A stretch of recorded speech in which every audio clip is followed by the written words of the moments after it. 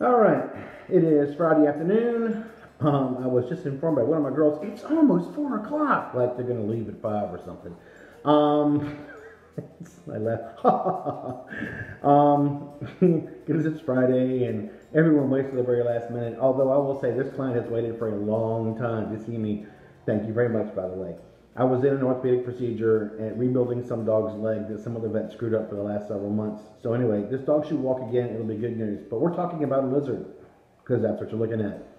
All right, um, here we have a small gecko. Uh, notice how her tail is popped up.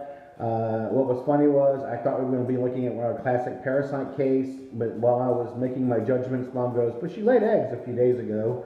Um, so at that point in time, I had to change my whole, uh, my whole line of uh, thinking altogether. Anyway, it turns out that she has laid eggs a few days ago, but uh, in the process, she's actually tried to to uh, compensate for her calcium intake by eating some calcium sand. And the stool sample I got was mostly sand. Um, I can tell you that the, she has a purplish green kind of sand in her tank from just the fecal alone. Uh, she also has a stomatitis. I was able to uh, get a sample of her mouth, and on this side here, you can actually see where her her lips are a little thickened. Okay, uh, they were uh, kind of a greenish color when she first came in where the, the sand was stuck on there, but I cleaned that off. Anyway, what's weird is I've probably seen one of the largest fungi I've ever seen under the microscope.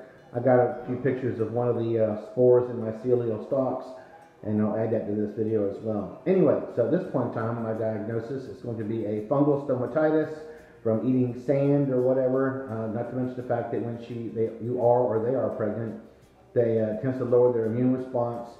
Uh, having small little parasites inside of you, regardless of species, does tend to make you have to lower your immune response to a lot of strange things.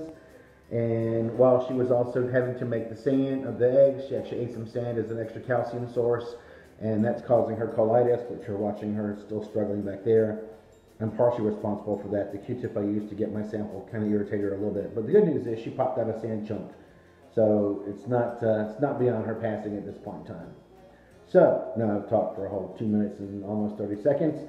This girl has a fungal stomatitis, possible mild sand impaction in the intestine. She's still getting over the fact that she's actually laid some eggs. Uh, so she may be a little bit low on calcium as far as that goes, but mom's going to fix that by putting in a UVB source. We're going to do more with her food when she starts to eat to get her some calcium in, and I'm hoping that turns her around. All right, girl. Stay pretty. Get healthy.